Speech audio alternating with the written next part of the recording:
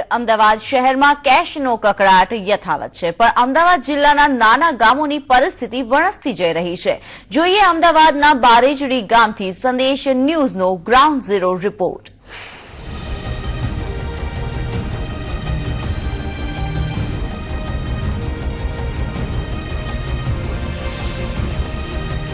કેન્દ્ર સરકારે કાળા નાણાં પર રોક લગાવવા માટે નોટબંધીનો નિર્ણય કર્યો. નોટબંધીના નિર્ણયને આજે એકતાલીસમો દિવસ છે. ત્યારે ગ્રામ્ય વિસ્તારમાં કેવી તકલીફો પડી રહી છે તે જાણવાનો પ્રયાસ છે. તે સંદેશ ન્યૂઝની ટીમ કરી રહી છે અને ગામડે ગામડે સંદેશ ન્યૂઝની ટીમ પહોંચી અને ગ્રામ્ય વિસ્તારના લોકોની સમસ્યા જાણી રહી છે.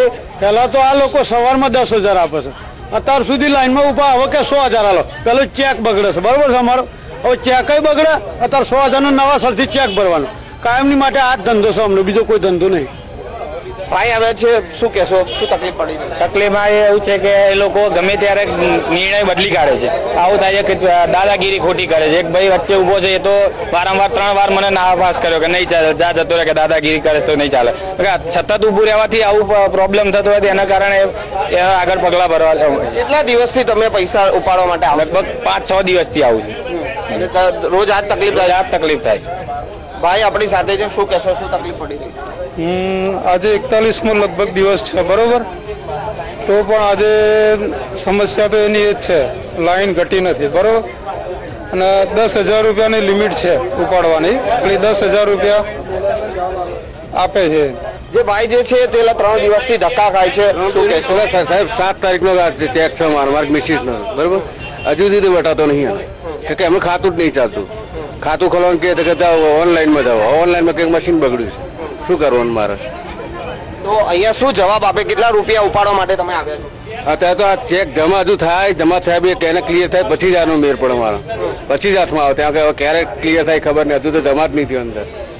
તો બેંકની બહાર જે છે તે લાઈનો એટલી ને એટલી જ છે. ગ્રામ્ય વિસ્તારમાં પણ ક્યાંક ને ક્યાંક લોકોને હેરાનગતિ જોવા મળી રહી છે. કેમેરામેન રાજેશ ગજ્જર સાથે સંજય ટાંક સંદેશ ન્યૂઝ નાંદેશ બારેજડી.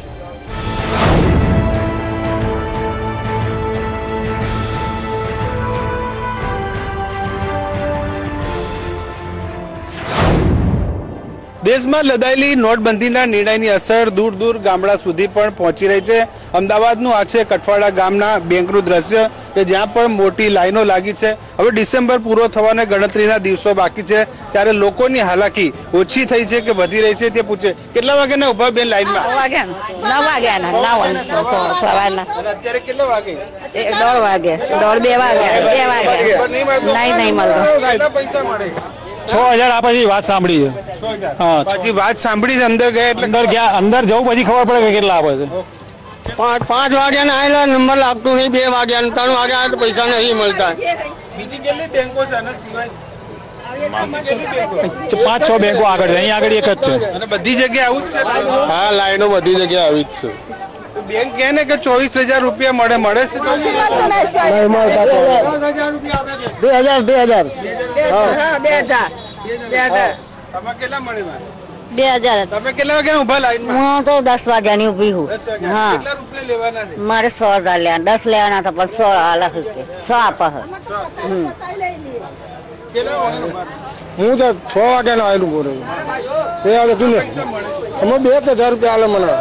ઘટે છે લગ્ન છે. છોકરાને લગ્ન હતા ને તોય મને કશું નતું આલ્યા બેંકે જે તે લોકોના લગ્ન પ્રસંગ હોય કે બીજી કોઈ પણ ઘટના હોય પણ પૈસાની વાત છે તો માત્ર બે હજાર કેટલા પૈસા લેવા તમે આયા? એ પાંચ હજાર આલો કઈ બે હજાર આલો એવી પૈસા આલો છો. અહીં ગાડી લાઈન ઊભા થઈ રહેવાનું બબે આલો. હો. બબે.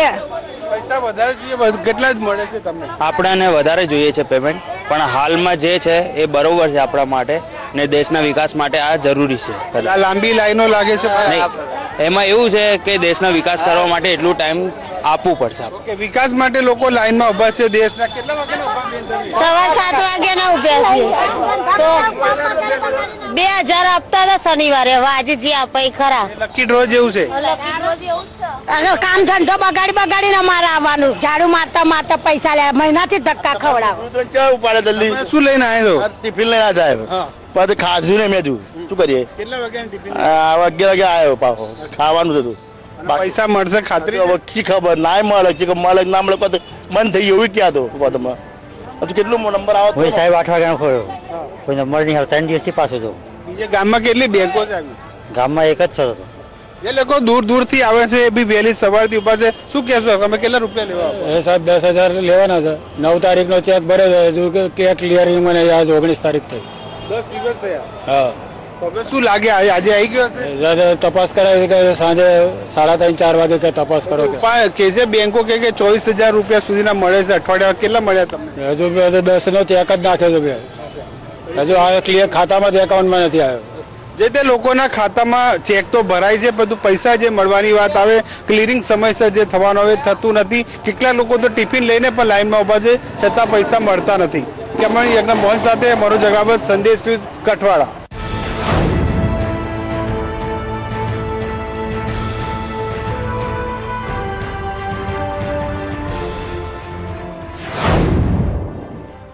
નોટબંધીના નિર્ણયની અસર હજુ પણ ગામડાઓમાં ચાલુ છે. ડિસેમ્બર પૂરો થવાને હવે ગણતરીના દિવસો બાકી છે.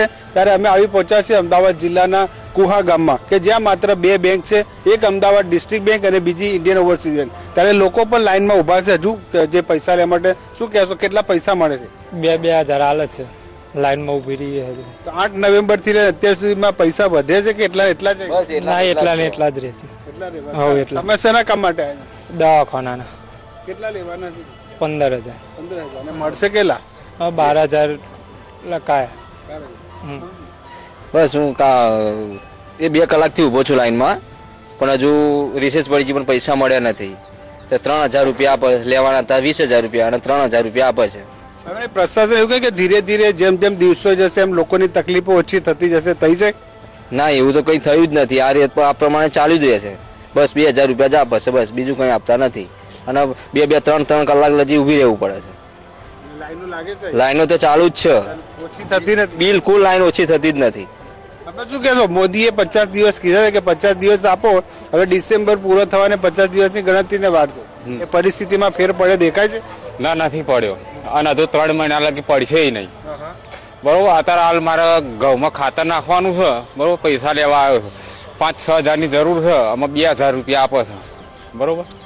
તો હવે અમારે શું કરવું? સિઝન ક્યારે શરૂ થઈ ક્યારે પૂરું થાય? આમાં સિઝન પૂરી થવા આવી. બરોબર બિયારણનું તો ગમે એમ કરીને આખું પાછું કરીને બિયારણનું કર્યું. બરોબર હવે પછી ખાતર નો પ્રોબ્લેમ થયો. હવે ખાતરની લાઈન થશે છે. બેંકોમાંથી લાઈનમાં ઊભો રહીને પછી ખાતરની લાઈન હા ભાઈ ખા- પછી ખાતરની લાઈનમાં જવું પડશે.